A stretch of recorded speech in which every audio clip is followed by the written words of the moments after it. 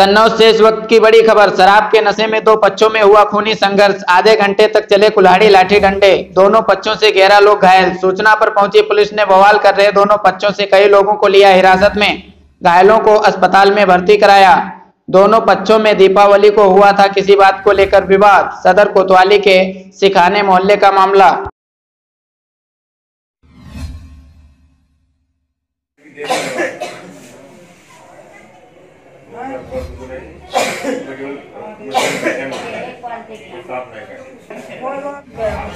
है? क्या हुआ? शाम झगड़ा। कहाँ? सिखाने। किस बात पे हुआ विवाद? सब गाली बकने लगे गाली। और हमने सब मना करा सब लोग मना कर रहे लेकिन ये लोग नहीं माने। लाठी डंडा छूट चलाने लगे तब गुम्मा कुलाड़ी सब चलाने लगे। और हम लोग भागना आते तो ये लोग हाथ पाँच का जान रहे थे मोहल्ले के सिखाए सिखाने सिखाने